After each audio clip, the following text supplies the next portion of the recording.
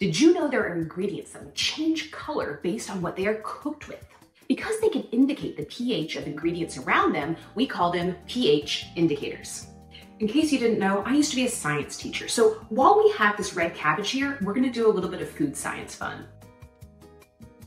The pH scale is a measurement of how acidic or basic alkaline a solution is. The scale goes from 0 to 14, and kind of confusingly, true neutral, like water, is right in the middle at a 7. Everything that is below 7 is acidic, everything that is above 7 is basic or alkaline. Acids are things that taste sour to our tongue. Things like lemon juice, vinegar, and even milk are on the acidic side of the spectrum, which means that they are high in hydrogen ions. And on the other side of the spectrum, we have alkaline items, which are also important for cooking. Alkaline things taste bitter on our tongue. Baking soda is one of the most commonly used alkaline items. Red cabbage contains compounds called anthocyanins. They are pigments that will change color based on the pH around them. If you soak red cabbage leaves in water, those anthocyanin pigments will soak out and leave you with a purple stained water.